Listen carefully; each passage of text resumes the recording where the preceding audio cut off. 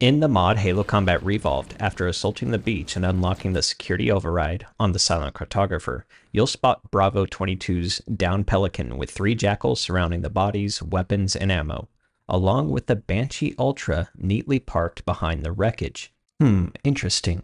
Three jackals didn't arrive in one Banshee. It's clear jackals have gotten their hands on UNSC weapons and will use it against you, given the type of scavengers and pirates that they are. After eliminating the jackals, you'll notice the bodies of the Marines and a peculiar Elite Ultra deceased. I sense betrayal in the ocean air.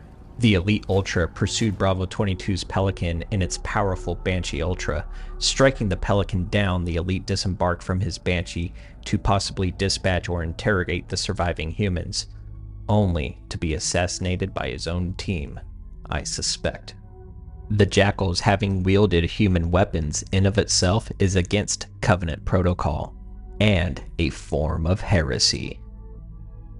Lucky for us, we get to use the Banshee, now, as the chief makes his way to the end of the diving board to kick off the one and only stone, if you look closely in the corner, you will see a deceased marine with a fire reddish orange weapon by his side. Turning to the right, you will spot a grunt, but turning to your left, you can see the marine and the platform level that he is located on, to include a stack of Covenant crates which he, the Marine, must have climbed up on to evade the Covenant. Let's go ahead and get to his location.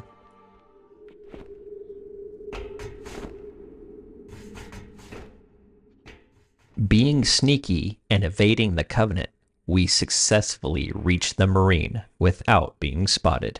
You'll have to determine which awesome weapon you exchange for the incendiary shotgun named DuPont's Dragon Breath. Let's suit her purpose.